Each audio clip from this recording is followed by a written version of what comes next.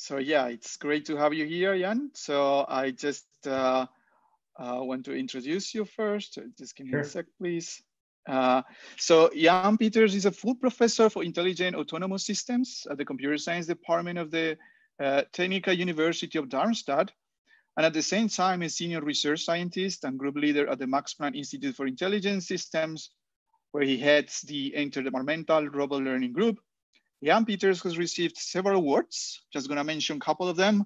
The IEEE Robotics Automation Society's Early Career Award, and, and several uh, paper awards. Uh, he received an ERC starting grant in 2015, and in 2019, he was appointed as an IEEE fellow.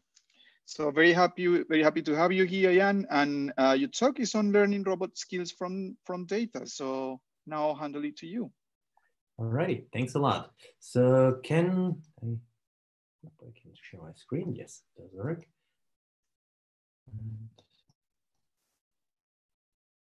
Okay, all right. You guys see my screen? Okay. No, do you see the wrong one? Uh, yeah, yeah, we can see your screen. Yeah. You see, I, this is really getting confused today. uh, do you see the presenter view or the other view? This is a presentation view. Okay, so I got now the wrong way around. Great. Um, that's so bold. To... No, I think this is the right view, isn't it? Was it? I think it was the right view. It was the correct view. Okay. Alrighty, so I'll just leave it like this then. Okay, so what I basically, but it doesn't show you the video. Does it show you the video? Yeah, yeah, you it is showing the video. video. Yeah. Mauricio, I don't hear you. Yes, I can oh, see okay. the video, yeah. Sorry, of course I don't hear you. Hi, amigo.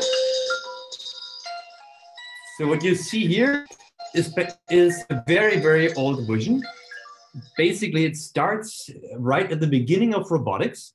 And um, right after the first robot was ever built, they released this video as a commercial. And they claim that this monster would in the first future be, um, well, in our homes. Now, obviously, are the smaller versions. Now, by today, we have much nicer robots. We have done a lot in terms of good robotics, but actually we haven't come any further in the way we, we want to create robot tasks. Society has totally changed since you'll see in a moment how anachronistic this feels, the futuristic robot scenario, while at the same time you see this family living in a 1960s scenario.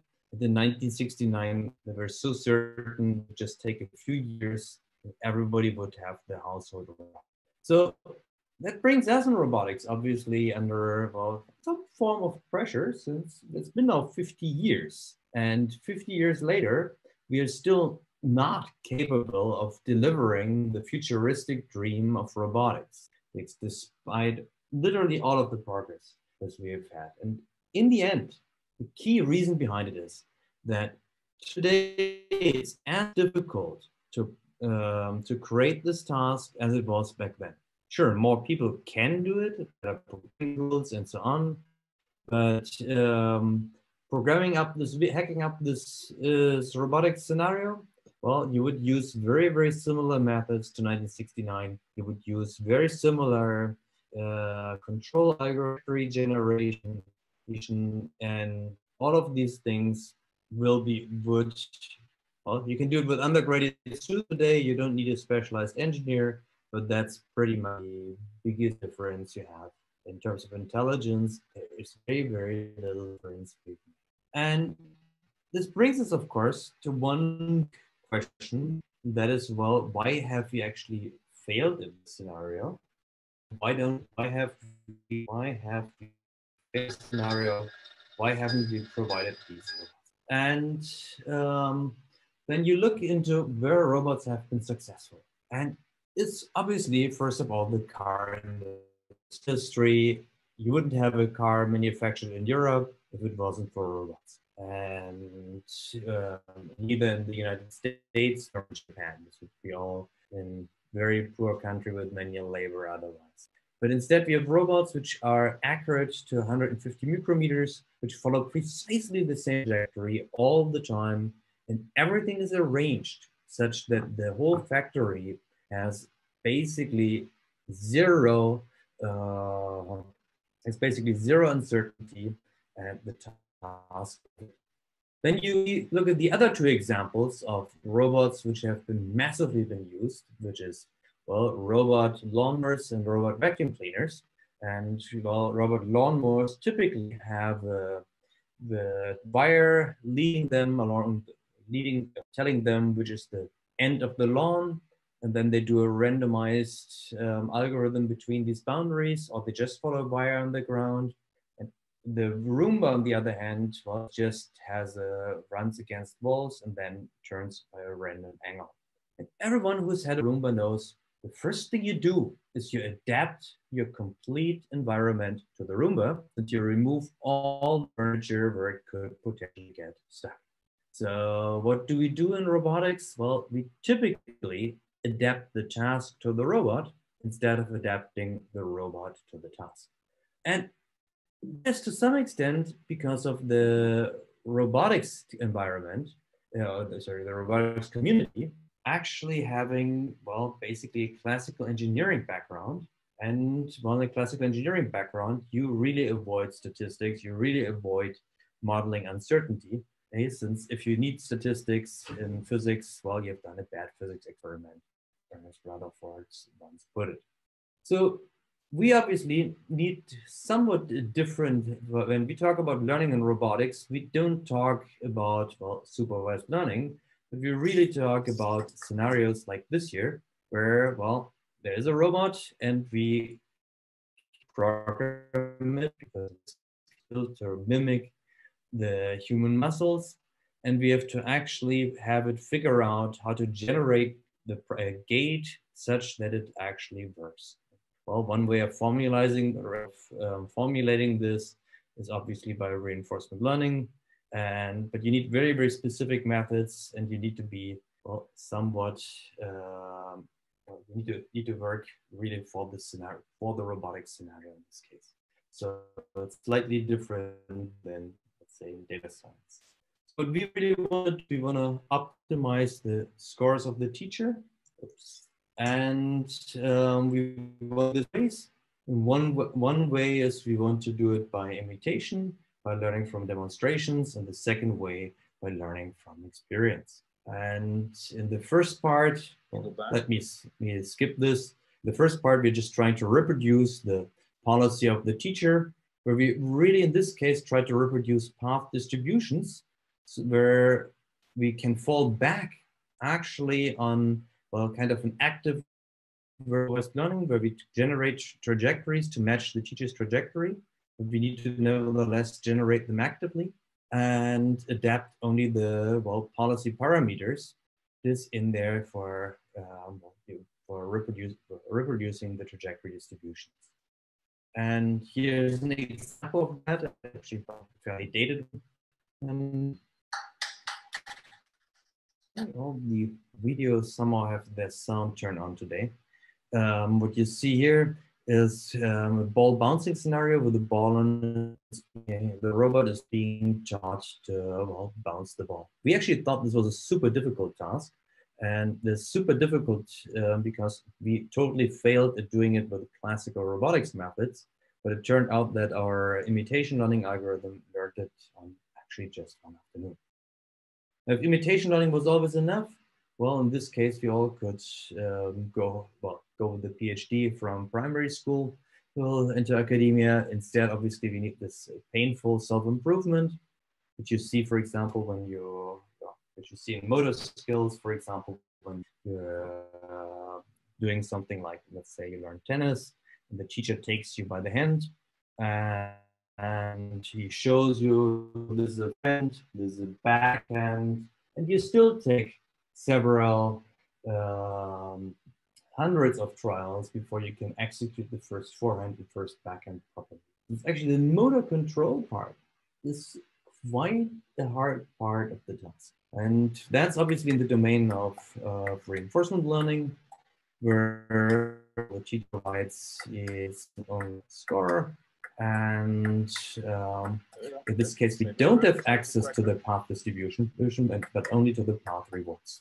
This makes our problem substantially harder, since unlike before, we well, we no longer have access to the to true distribution, and we have this real problem that we have to execute these things on the real system.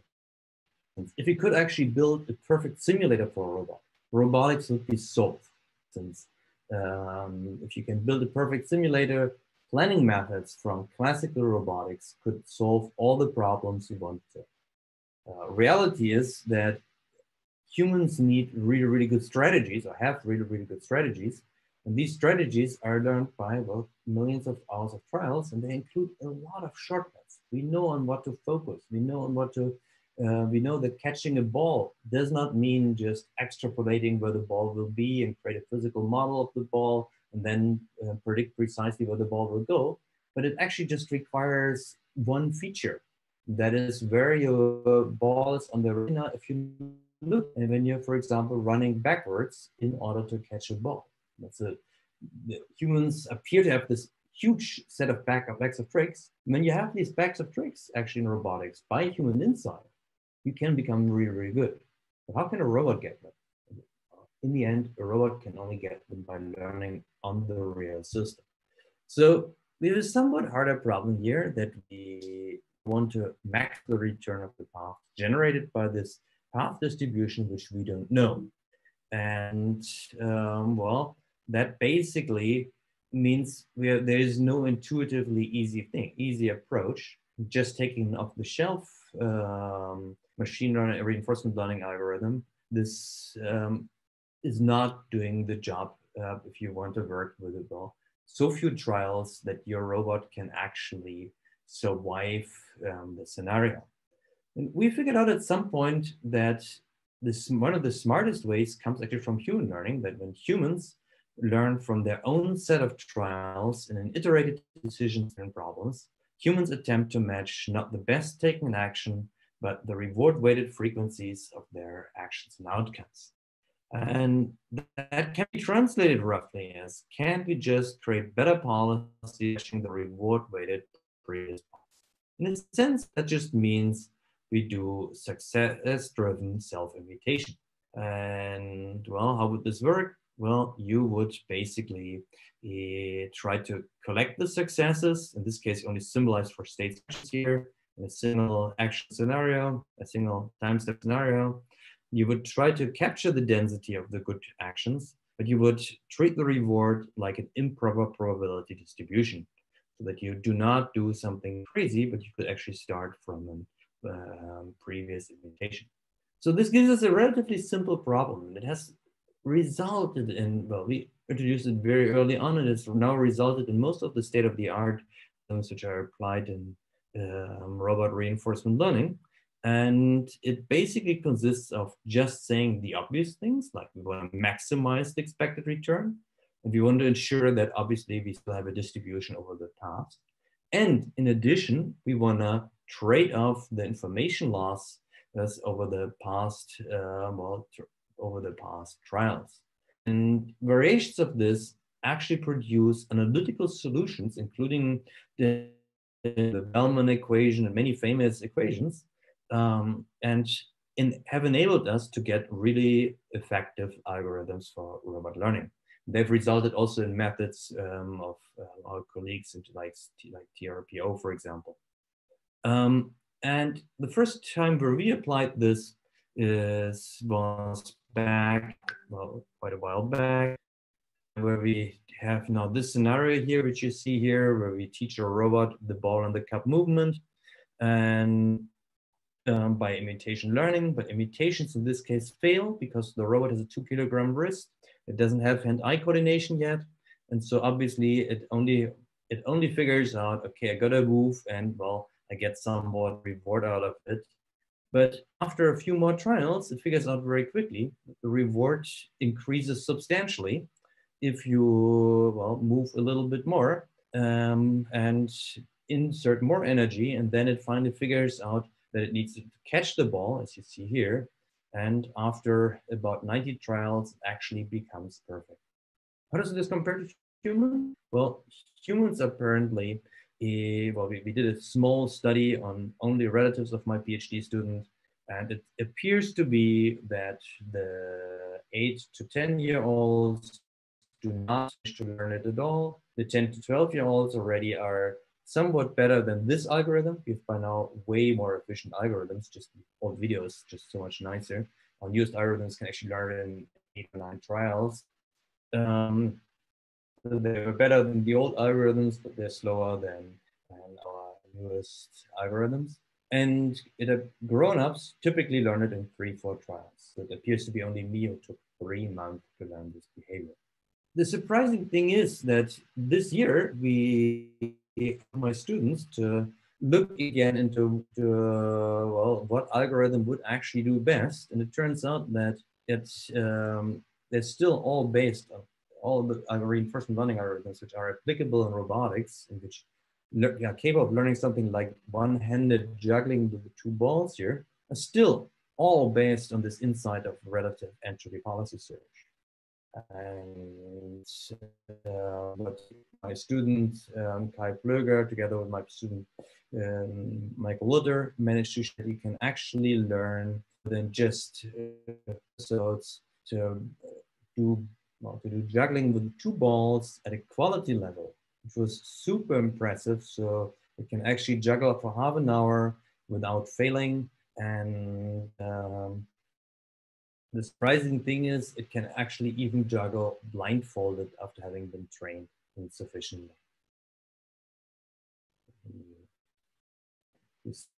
Better here with every episode. So these are separate trial runs that you see here. And um, just to every single time um, it manages to after 20, 30 episodes. It's pretty much perfectly. It can juggling with one arm and two balls is actually super exhausting. For a human being, the comparable is actually to rather use two arms and four balls. And yeah, instead. So what we now increasingly obviously do is we compose with uh, behavior using primitive behaviors, which we have just learned. And we put this together with context, and learning execution, and many other things. And one of the things which interests us a lot um, is table tennis in this context. You can learn table tennis either, as you see here, with a combination of first imitation and then subsequently a reinforcement learning, where she, Katarina has actually used the ball guns to train the robot. And I'm always saying she actually managed to uh, man, she actually managed to train the robot to become as good as she. And it turned out um, that this is pretty much the limitation of the Barrett WAM robot for table tennis. It does not actually get much better than that. The reason behind this is that the Barrett WAM has a, well, two kilogram wrist. Now I want to see you being nailed at the ceiling, trying to play table tennis and while being, eh, while having a two kilogram weight in your hand put together with a racket. It's pretty damn hard. So uh, my PhD student Dieter Büchler and I, we set out to build a robot. And in fact, the first version of the robot was built 10 years back, and then, then before Dieter joined, and then later, um, later when Dieter joined, we actually figured out how to really make it work well. And what you see here is how the robot first trains, and it trains against a simulated ball so that we can really start from scratch and we need quite a few hours um, of, of training against the simulated ball uh, before we really would want to, before we really properly can actually hit a ball. But we accidentally typically hit a ball already if you take a ball gun and you just aim at the workspace. You accidentally hit a ball after about 30 um, something minutes. And in the moment where the robot has more, well, date has the first data points, it starts to zoom in. And while all the movement is done on the robot, the ball is only simulated in it because it's simply super exhausting to uh, well, collect balls arriving every second. You also wouldn't be they wouldn't also be arriving every second if you were doing this with a human experiment. So the simulated ball it um, goes on a well, um, simulated ball, these things still go much, much faster. But most importantly, the dynamics of this robot are so complicated that it would not be capable of learning, of being trained in simulation itself. It can only train to basically ball in the simulation. With subsequent training on the real system, it can become really, really good. And you look at this um, hitting behavior, this is both impressively good movement, but also impressively high accelerations. And well, we have uh, we've just sent this out application. Okay, so it's obviously not all table tennis what we do. In so fact, John, what, John, sorry to interrupt, yeah. but we only have uh, we are over time now, so maybe you oh, can uh, speed up. I'll bit. wrap up. I have only yeah. one slide and one slide left. Uh, okay. I thought Thank I had 20 minutes, not 15. Uh, it was 20, I think. Yes, and I'm I'm yeah. now at minute 15, so that's why I am confused. Oh, okay. Okay, thanks. okay, so I've actually planned in two and a half minutes for questions. Uh, um, so it's not all table tennis what we do, quite in quite the opposite. We actually know that industrial applications will require um, that we, we bring robot learning to industry. And well, Bosch basically at some point had a study where they told us, where they told, where they figured out that a product needs to be both expensive and produced in large numbers for robots to be applicable. And Manfred Gundel, the former CEO of KUKA, basically said, present day robots are made for repeating the same task thousands of times. Future robots will have to perform um, thousands of tasks several times. And I think this is also quite important. Uh, assistive robots, companion technologies in hospitals, rehabilitation, as well as for the robot. With that, I'm pretty much at the end. I just want to say robot skill learning has a lot of implications for cognitive science, where we also work on, um, for classical robotics, and for machine learning. And here are some of the other topics where the methods from our, our world are being applied. Um, I'll not go into detail given that Mauricio wants me to catch up on time uh, for you guys. So in conclusion, I hope I've shown you an interesting scope for how we can avoid possible, uh, all the possible scenarios and um, learn to adapt to the environment. I hope I've made the point. We have fairly efficient imitation reinforcement learning methods for anthropomorphic robots by now, and that our uh, more things can be reproduced on real systems, even in robot table tennis. With that, I'm at the end, and I hope you still have a few questions left. Thank you, Jan. Are there any questions for Jan? So I see there is one question for you on the chair uh, doc. Is the accuracy of on tracking in the table tennis case a limit of the simulation? This is, is the arm tracking and ball simulation limiting to this method? Okay, so uh, um, for this, for the robot, for the Barrett WAM, you need to, would need to, you actually need to figure out a trajectory which is even executable at this high speed without breaking the robot. So it's actually the trajectory generation there already, which makes sure whether you, well, where tracking is not the problem, but the if you have a good trajectory, but basically tracking becomes impossible, tracking control, if you um, have a trajectory. For the, it's actually worse for our self-built robot arm because there you could not precisely follow a trajectory because it's built on, on insights from muscles. So we try to make it totally overpowered by taking two contracting, uh, contracting pairs of muscles per degree of freedom, uh, with the result that it can do catapult-like motion, but um, this catapult-like motion needs to be tuned for the actual trajectory. And um, it, you won't know precisely whether you're going to hit the ball here, here, or here. So you actually have to figure out how to make the system accelerate it up to the point where it could potentially hit the ball. But in order to stably steer it to some location, the learning system has to figure out how to decelerate in this complete region of the trajectory where of the ball trajectory where the ball and the racket trajectory overlap. So the humans seem to be very, very good at this.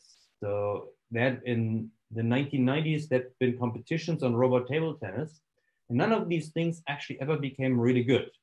For the simple reason that despite that they had robots which moved faster than humans, moved more precise than humans, saw faster than humans, they actually built analog cameras for that to get super high super high accuracy of the ball tracking, in both in terms of the precision of the cameras as well as the speed of the cameras. In every respect, they were 10 times better than humans, except for playing table tennis, where they were about a thousand times worse than even worse than our robot, substantially worse than our robot, for the simple reason that um, they they basically had not figured out what it actually means to be robust in such scenarios. Now, we hope okay. to sidestep this question by well, starting with the human trajectories if possible, and by doing learning where automatically only good solutions should survive. Okay, okay, thanks, Jan. Uh